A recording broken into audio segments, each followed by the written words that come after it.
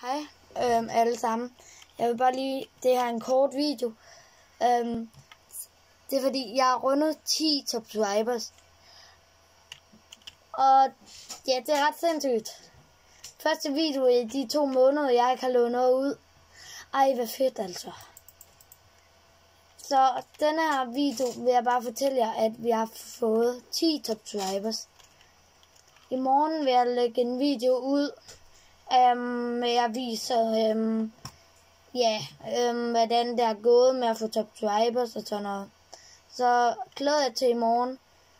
Nu glæder jeg mig bare til, at jeg får 20 subscribers. Så like og subscribe til øhm, mine videoer. I bestemmer jo selv. Øhm, men det håber jeg, det vil jeg så tæt på.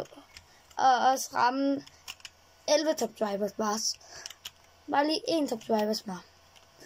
Så jeg vil bare lige sige, at jeg er så glad for, at der er 10, der er subscribet til min kanal.